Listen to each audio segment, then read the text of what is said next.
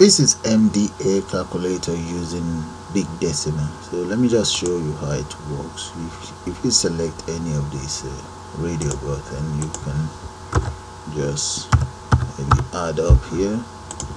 There. Supposing I select division that's what I get. If I decide to select multiplication and the same thing applies to subtraction if you notice I ended up with three decimal places that's because that's what I've specified inside the big decimal itself. If I decide to increase the size of the big decimal the same thing will happen.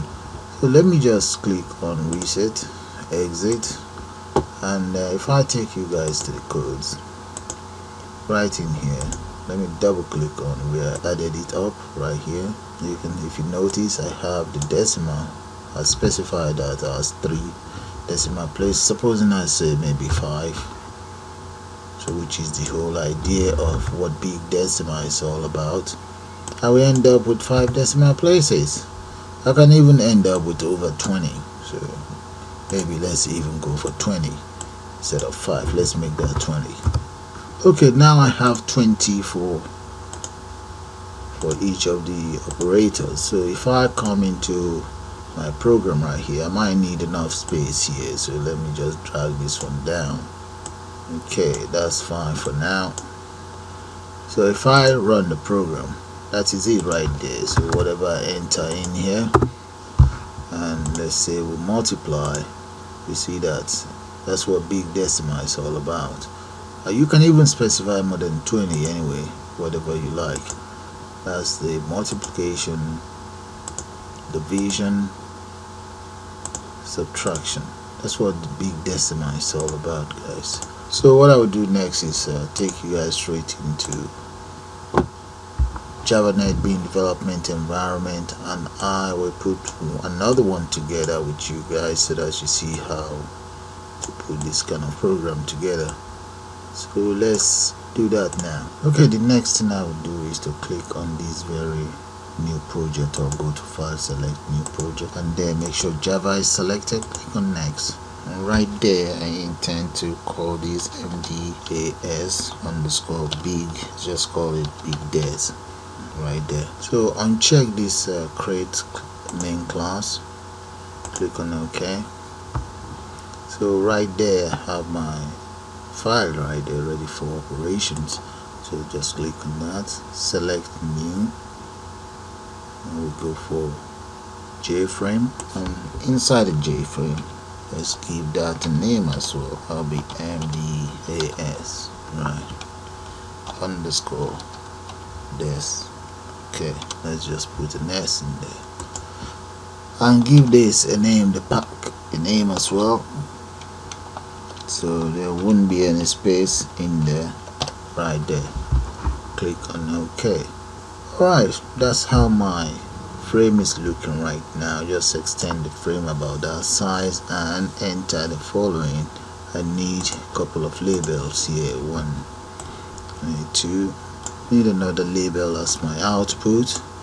I need two buttons. One here. In fact three buttons. Another one here.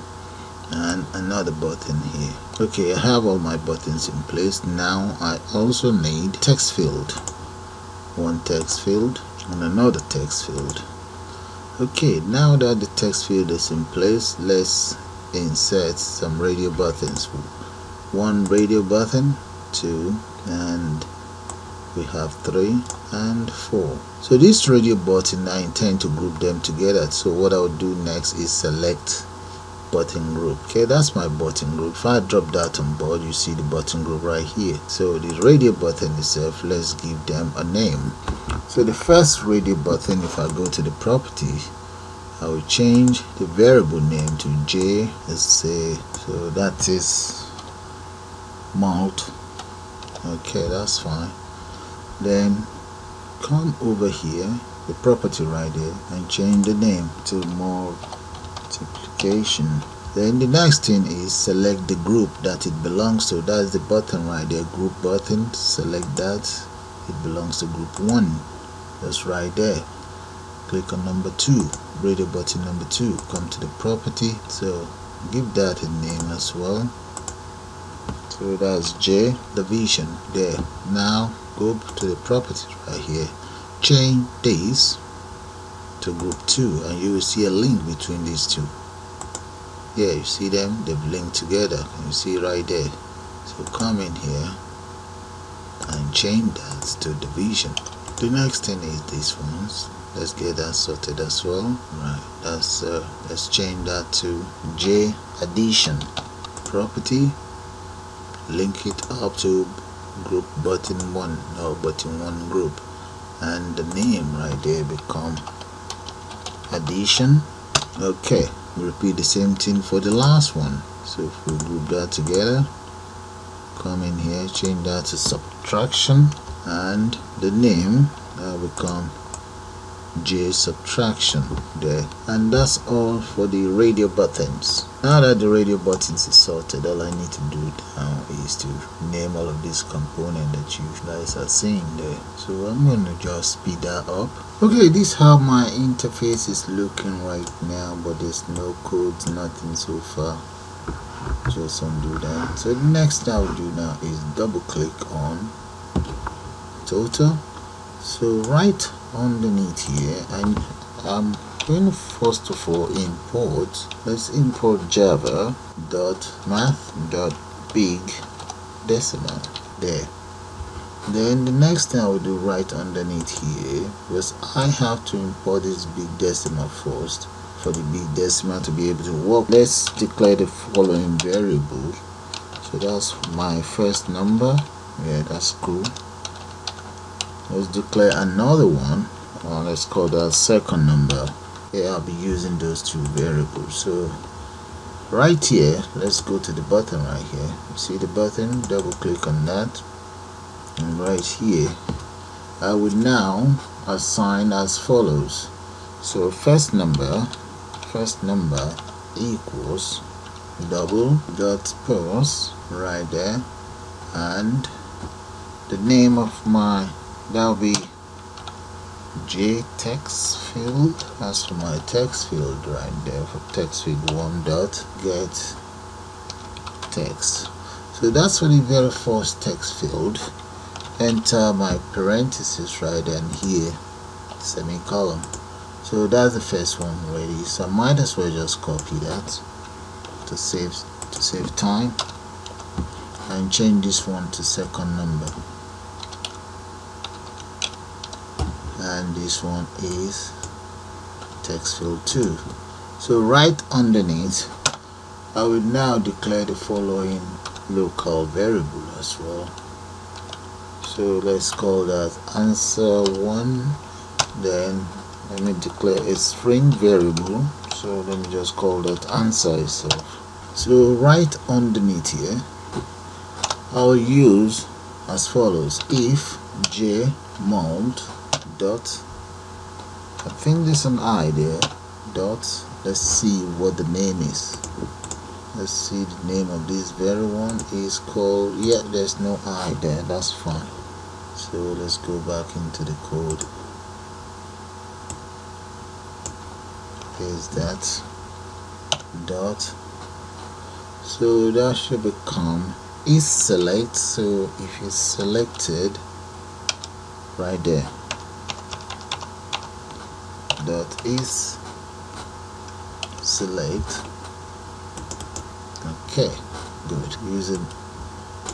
So I would then say num1 equals first number multiply by second number. Okay then this is where I will now enter my big decimal. The big decimal let's give that a letter a equals new big new big decimal right here. And assign my number. Answer to the big decimal. That's that's that sorted. Then answer itself equals string as you guys can see up here.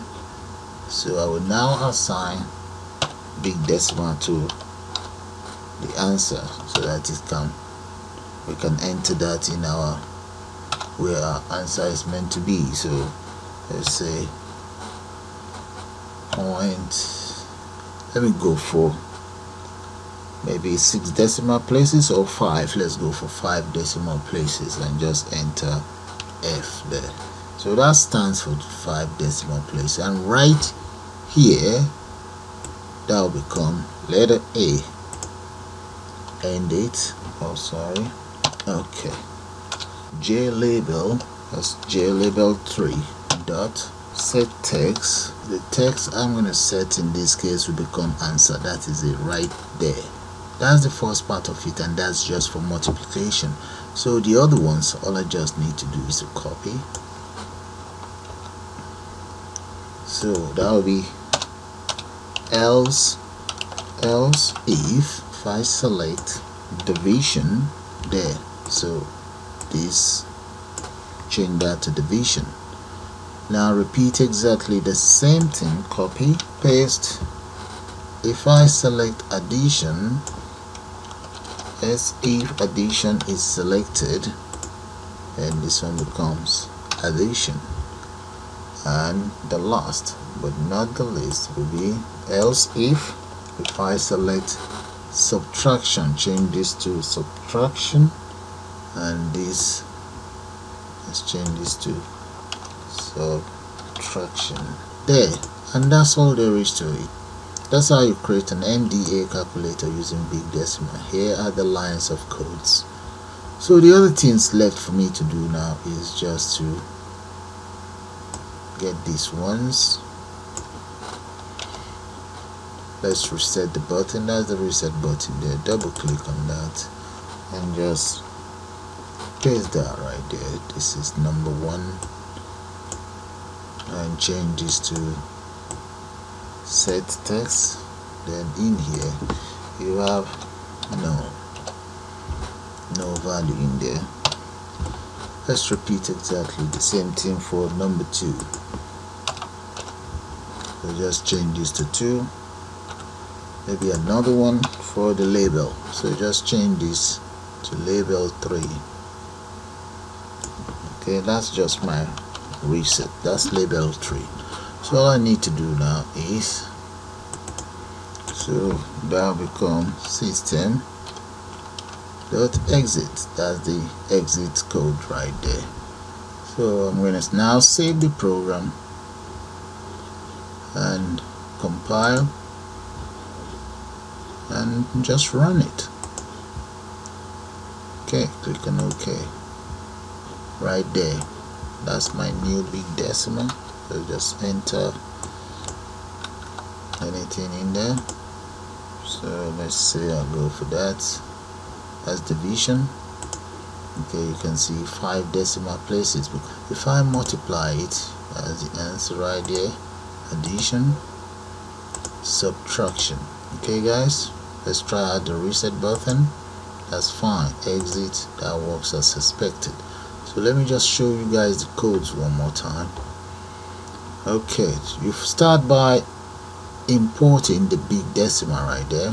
Make sure that it's imported declare your variables come right down here and enter the following lines of code okay the variables declared I then assign the content of the text field into the variables. Declare another variable to store both global variable and then big decimal then converted that right here as big decimal right there and then convert it to string and then the final output is displayed inside this very label. And that's all there is to it. The rest part of it is just changing the radio button the name of the radio button and change the arithmetic operator. And that's it right there. That's for division addition and subtraction and that's how you use big decimal to develop an MDAS calculator. So I just call it bye for now guys